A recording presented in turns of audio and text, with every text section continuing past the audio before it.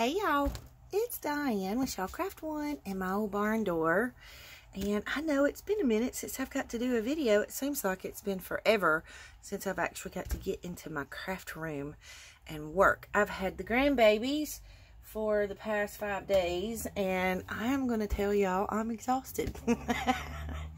I didn't realize how old I was till the grandbabies came to stay. so anyways, I am working on some ring binder floral journals and um, I wanted to use up some stuff in my craft room. I have so much stuff in my craft room, okay? So much stuff. It's ridiculous. And so I thought, you know what? Let's start using it. I have so many of these um, partial book pages and I mean, it is just ridiculous. And then I have Hang on and I'll show you. Um, little bits and pieces of napkins. So I thought we could use up some of those and use up some book pages and see what cute things we can make because I'm going to make pockets and tucks and things like that for the journals that I'm working on. So I thought maybe I could do like a little series um, of little pockets and tucks and tags and things like that to use up our book pages and all of our little goodies. So here's what I've done. I made this little um, pocket, cute little pocket, and it's actually a belly band pocket. So you can, you know, you can put it on your, here, I'll show you. You can put it in your journal. Let me see if I can find a page. Now, it's not going to match this journal because this journal is kind of more of a, um, a vintage style. And let's see if we can find a page. Okay, let's try this one. Nope. Well, let's just try this one. Okay. So, it can go on the page like that, and then you can tuck things in there, um, or you can put it on the edge of the page. Um, but I, the whole point that I was doing it for was to kind of make it like a belly band tuck or pocket. And so you can tuck it on there. You've got things tucked down in the center, and then you can tuck things in there. So let's make one of these today and use up some book pages and see where we get. Um, so the first thing I do, these are, um, you know, just leftover portions of books that, you know, didn't really have any pretty pictures in it or anything. And so I use these when I'm gluing on stuff. You know, I glue on these. Well, then when I'm done, uh, I'm going to take a page. And here's how you make the outside little pocket. I'll show you um, what's inside. So you have the little tag, and then you have this little tag, and then you have a large style tag that's kind of plain. But I like the plain ones because you can journal on there. You can use it for a picture mat, um, and then you can journal on the back side.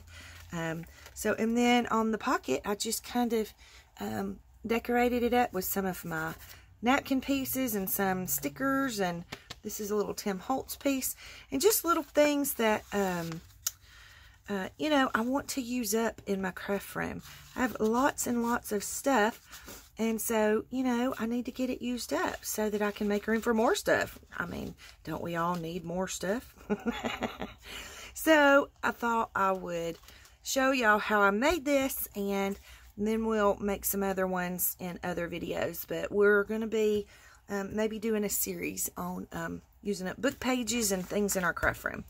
Okay, so with this one, the way you make the pocket, we're going to make the pocket today. Okay, so I'm going to go ahead and trim this edge off because I don't need the edge. And I don't want a jagged edge. So we're going to trim that off. And then what we're going to do is we're just going to take this and fold it like this because we need it to be a square, okay, in order to make uh, this little pocket. And then we're just going to crease it like that, and you have this. And so this leftover piece down here, you can cut it, but I'm going to tear it. So just tear that away. And then you have this. So then we're just going to fold over just a little ways over that center crease. If you can, can you see that center crease? I'm going to just fold over a little ways over that. Now you can measure if you want it perfect. I don't care if it's perfect. I don't particularly need it to be perfect. So I just kind of do it willy-nilly and work with what I have. Okay, so there's your pocket. Okay, your belly band pocket. So I think what I want to do is ink the edges. And let's see.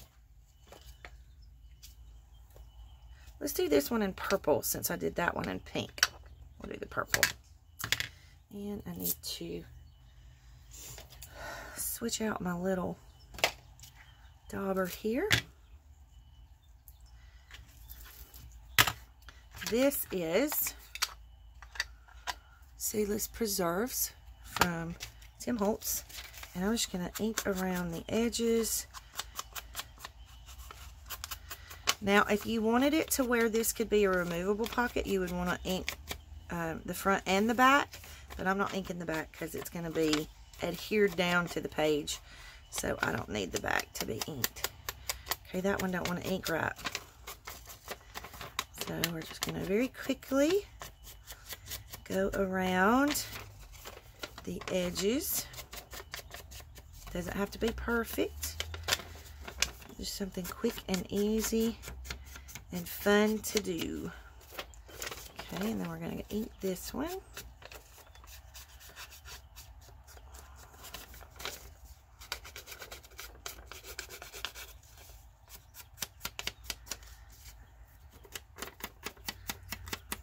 Okay. Now, we're going to fold this over and we're just going to put a little dab of glue right there in the middle. Whoops. Let's not glue our pen in there. I'm going to put a little bit of glue in there. And we're going to try and put our pen in there without poking ourselves. Okay. So now it's that easy. We have a pocket. Now I have this little pink pen um, and I don't know if you can see the faux stitching that I have around the edges here, but we're going to do that. I'm just trying to let that dry a little bit. Probably need to. I always get excessive amounts of glue. It doesn't matter how small I try to use it. It always does that. Okay, so let's just make us some lines around the edges here so that it looks like it's sewn. And I don't want it to be super neat or super easy because I like the messy look. So let's just go all the way around. These are quick and easy to make and they're super fun. Let's go around this way. And you can use a marker if you want to. I just don't have one. Mine dried out. And um, I really don't have any of the, you know, the fancy pens or markers. This is just a cheap little dollar pen from the dollar store. And they can be different sizes, however you want them. Doesn't have to be perfect because if it does, I'd be in trouble. Because nothing I do is perfect. Okay, so we're going to do this one.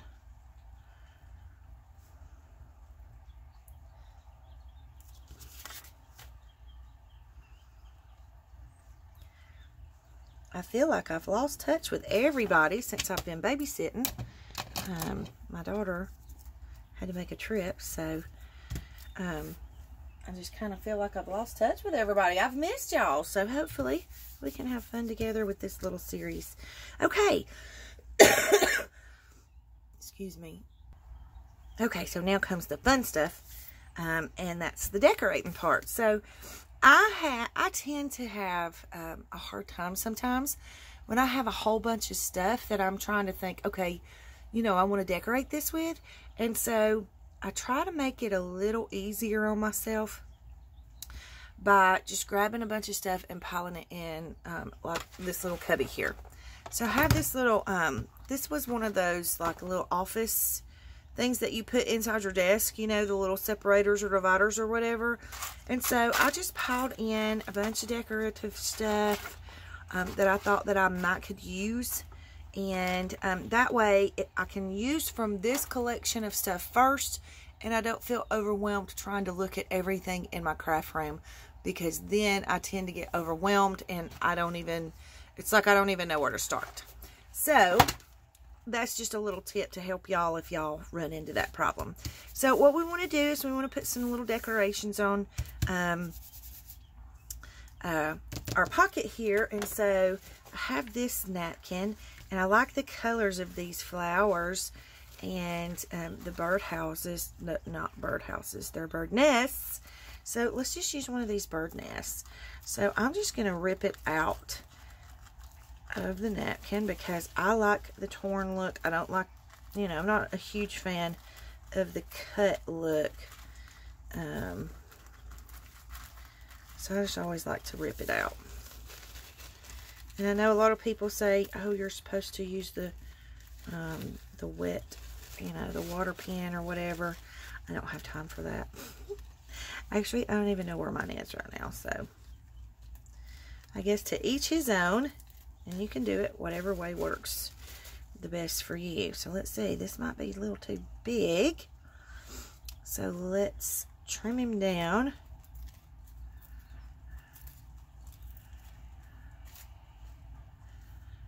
Okay. We'll save that little flower because we might want to use him somewhere else. Let's see. Alright, so if we slide that down in there, I kind of don't want to slide him down in there. I kind of want to, I want the bird nest to show, but I also like the flowers. So let's see if we can separate these and arrange them in a way that they fit better. Okay, so, a lot of times, I don't play with my napkins because the Mod Podge can sometimes feel like it's a little messy, you know? And it feels like, oh my goodness, you know, I got to get the Mod Podge out, Mod Podge it, then I got to let it dry or or dry it with the dryer or whatever. So, I cheat and I use my glue stick. So, that's what we're going to do today. So I'm just going to put some glue down on the top here. And then we're just going to tuck him in here. Kind of like that. Let's tuck him over to the side so we might have enough room for a little bit of a flower.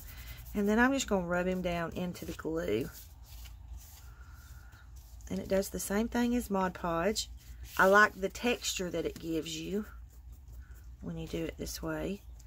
And then let's see. See here, this little blue flower might come in handy.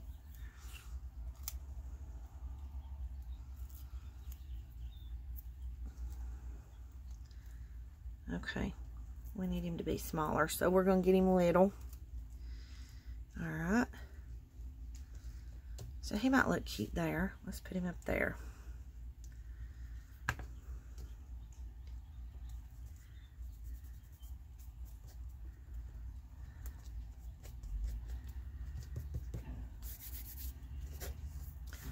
Okay.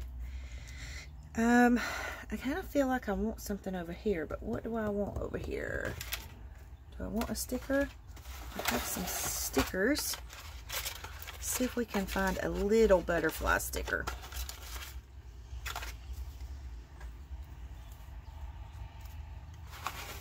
Oops. No, I kind of want a small butterfly. Hmm. Or not. we got some down here.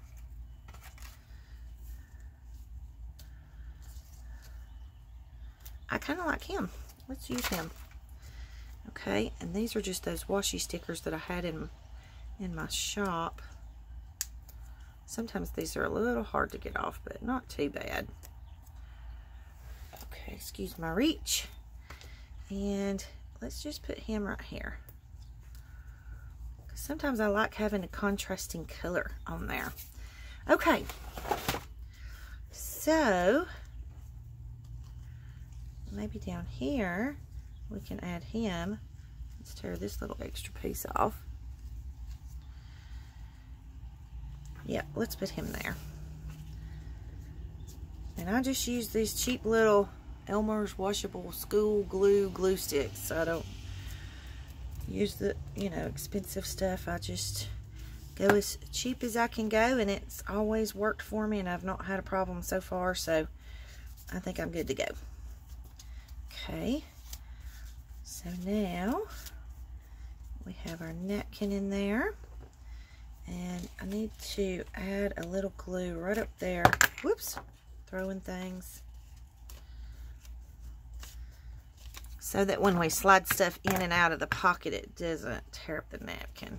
All right, I need a baby wipe. I got one here somewhere. Here we go. It's always good to have a baby wipe handy because uh, it gets kind of sticky using the glue. Okay, so then we want something on the sides here. On this one, we used a napkin on the sides. Uh, but on this one, I think I want to use some stickers. And I have some of these. I don't know if they're too big or not, though. Let's check them out and see. I got this roll of stickers at Walmart for, I can't even remember how much it was, but okay, now see that's too big. So we're going to stick him back on there and figure out something else to use. I have these little flowers here. That would be pretty in the middle, but I think I want one that's more colorful. See.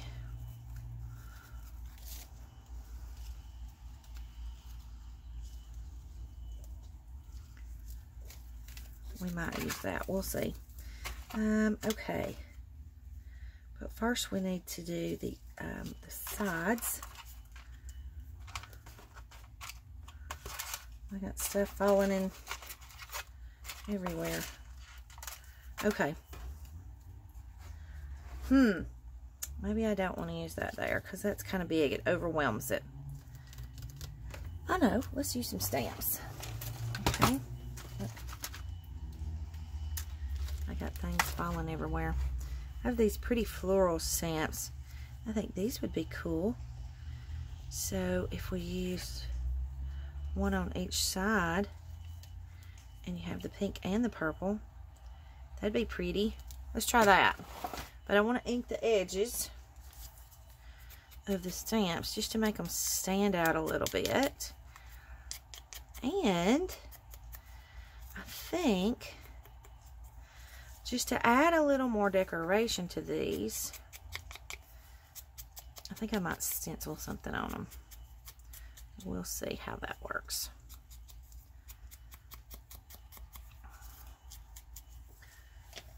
Okay.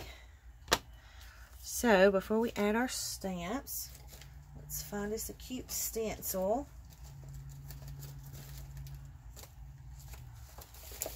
And what better than flowers?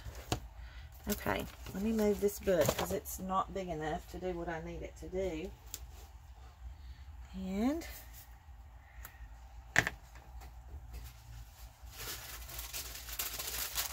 I have this that I can stencil on. Okay.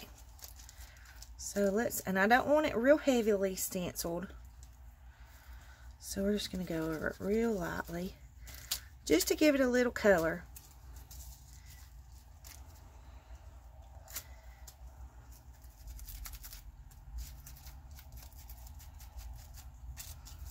There we go. See there? You see that? Okay. Alright, and then have this piece of fabric here that I think I want to take all the way across. Let me see, this one's a little wider. And I don't want it to be perfect, you know, super perfect or anything. So let's just snip us a piece off.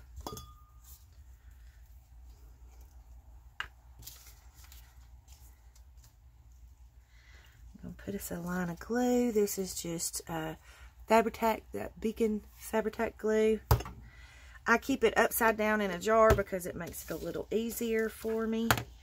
And then we're just going to lay our fabric down. And I want our fabric to be a little bit dimensional. I don't want it to be, you know, completely stuck down to the page. And then we can add our stamps.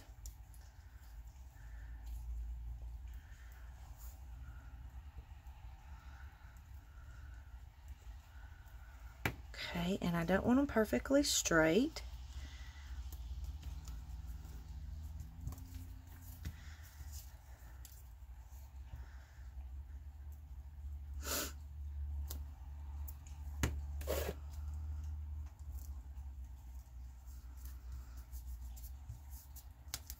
Okay.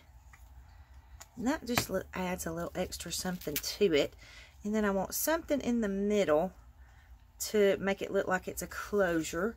So let's maybe pull us a button over here. Oh, we have a cute little flower button.